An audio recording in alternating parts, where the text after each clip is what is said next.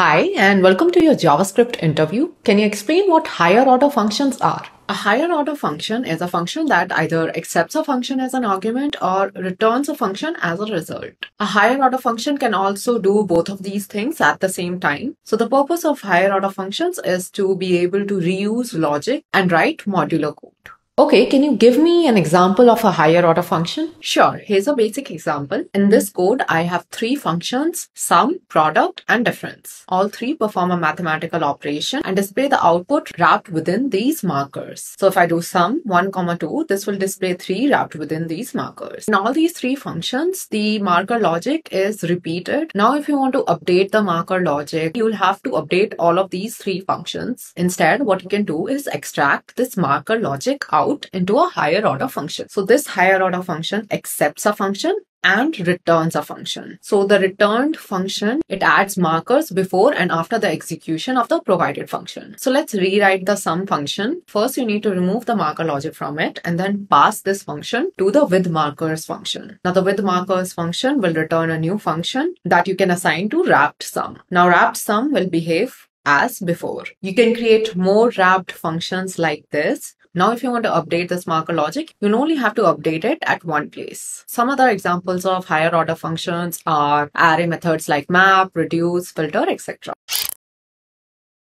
Can you explain what nan is in JavaScript? Nan, or not a number, represents an invalid numerical value in JavaScript. It's produced when you do invalid or indeterminate operations like dividing 0 by 0 dividing a number by the string hello, or finding the square root of a negative number. So is nan a data type in JavaScript? No, it's not a data type. The type of nan is actually number. It's just a property on the global object. Nan is a falsy value and the only value that results in false when compared to itself. So if you try to do nan double equals nan, or if you try to do nan triple equals nan, it will print false in both of these situations. Therefore, to check if a value is nan or not, you will need to use the is nan function. The is nan function will return true if the provided value is nan or will result to nan.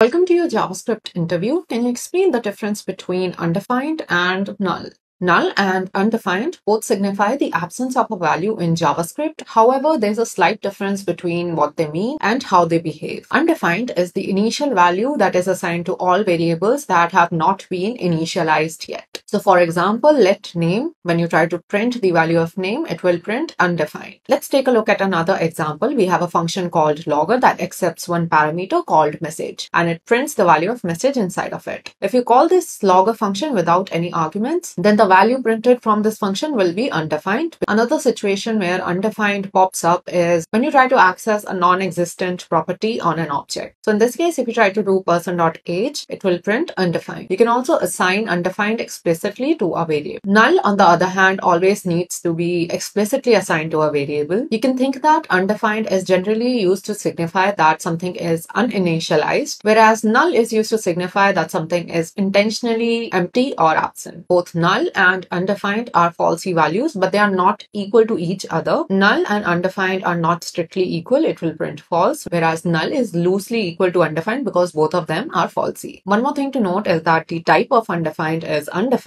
but the type of null is object due to a historical mistake in JavaScript. Welcome to your JavaScript interview. Can you explain what the symbol primitive type is? The symbol primitive type is used to create a unique identifier in JavaScript. You can create a symbol using the symbol function. For example, const my symbol equals to symbol. One thing to note here is that this symbol function is not really a constructor in the traditional sense. Because you can only call it like a function, you cannot do new symbol like you would do with other wrapper objects.